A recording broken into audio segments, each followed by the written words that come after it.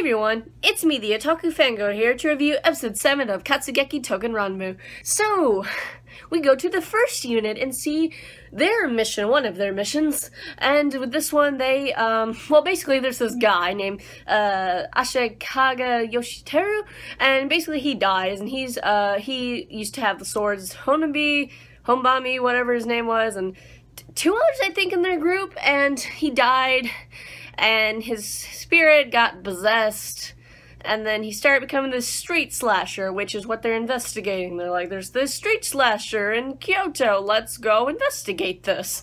And so when they get to Kyoto, um, it's desolate, barely anyone's out, it's weird. Um, also, this group, the first unit, they are powerful enough to take down Notachi, and I'm like, dang, like just one person. I'm like, dang, the second unit had such a hard time doing that. One guy almost died doing it, so I'm like, dang, they are powerful. And on this team, we have the captain with a hood, Mikazuki, which I know Mikazuki is like a fan favorite. Um, I can kind of see why after this episode he's really powerful and strong, but not a eh, not husbando of mine. But anyway, so as they're investigating, they, well, of course, come across the street slasher, which is most likely the soul, the corrupted soul of what's his face, Ashikaga Yoshiteru. Um, so yeah, they come across him, fight him, and uh, he's very powerful. He can summon the time retrograde army, and I'm like, dang, who gave this guy this power? like, seriously, he would just summon them non-stop. There was like an entire army of them. Like, oh my goodness. and they all took him down too, and I'm like, dang.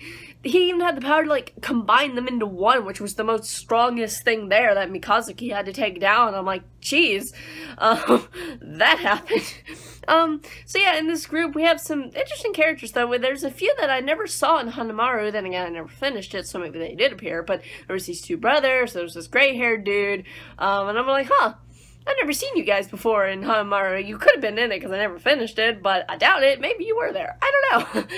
but yeah, this whole episode just kind of focused on them and them figuring this not they didn't really figure it out if that was him really. Um but i'm like 100% sure it was especially with the beginning of the episode. I'm like yeah that's totally him. He's just possessed now. His soul is now corrupted.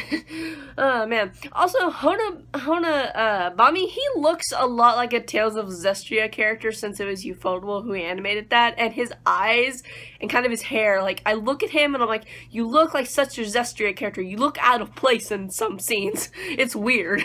Um because they all have their own style but then I look at him and I'm like, you look like such a Zestiria character. What the heck? Get out of here. Go back. It was weird. I was just like, why do you look like that? It's so strange.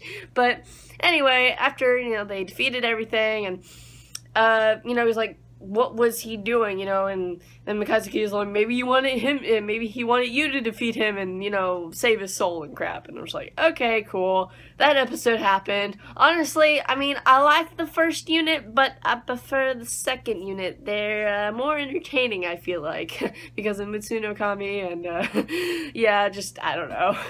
Hopefully we'll get them in the next episode, but we don't know because the next episode's title was very vague. Um, it's just called To Protect History, so I have no idea if we're gonna keep with the first unit for a while or if we're gonna gonna go back to the second unit after they've healed up and rested. Um, I don't know. I have no idea.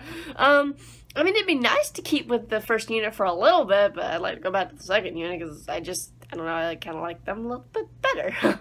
um, but overall, it's a pretty entertaining episode. Of course, the animation was stellar again. It always is. um, so, yeah, not much else to say about this episode, really besides Hood Guy being my favorite one out of the group. Um, I know a lot of people are like, oh, Mikazuki! But I'm like, oh, Hood Guy. I think his name was Yamanbagiri, I think?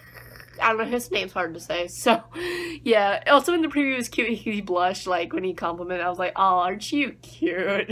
I love you. uh, but anyway, overall entertaining episode. What do you guys think of the episode? What do you think is going to happen next? We're going to go back to the second unit, or we're going to keep with the first unit? I don't know. We'll have to see. So, see you guys in whatever I review next. Bye!